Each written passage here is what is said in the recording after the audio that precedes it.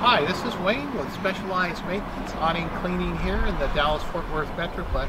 Today we're going to do some rust stain removal. And we have a school project here that I did about a year ago, but the rust has come back because they haven't been able to filter the water properly.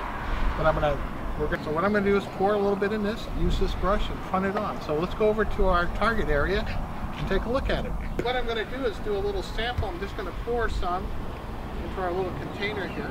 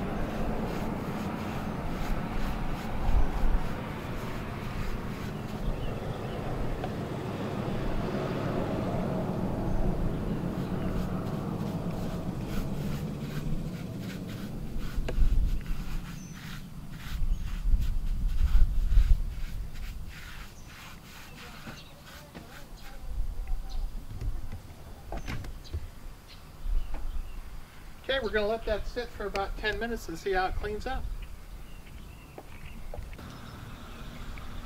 All right, we've waited our 10 minutes, and now we're going to go ahead and just rinse off um, the chemical.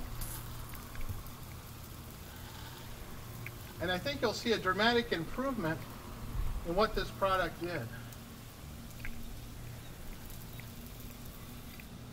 Take a look at that, it's dramatically different. This is how we do some tests to determine the compatibility of the product. You can see it did an excellent job here. All right, thanks.